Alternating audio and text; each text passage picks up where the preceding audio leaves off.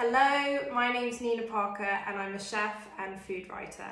And I wanted to introduce you to my new cookbook called Saucy. This is my third book. The first was Nina Saint-Tropez and Nina Capri. And this is about four years on and it is inspired by my food writing travels and clients that I've worked for in my chef life and uh, it's very much um, travels that I was in Tokyo and Mexico City, California, and these places have completely shaped the way I cook now. And I've, you know, I've gained so much inspiration from the flavors, the the way they use ingredients, talking to people, chefs, restaurant owners, and I have put this into my own cooking, my everyday cooking.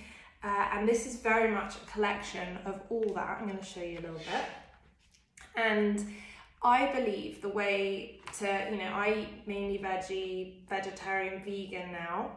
And I think to make that food really, really delicious, it all ties together with a delicious chili oil or salsa, marinade. That is how you're going to make this food taste incredible.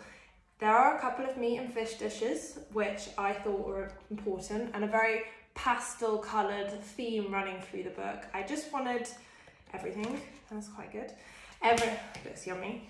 I wanted people to, I wanted the dishes to really speak for themselves and it to be uncomplicated. This is a paperback book and a percentage of the profits go to an amazing organisation that replants trees in Madagascar called Treeslut.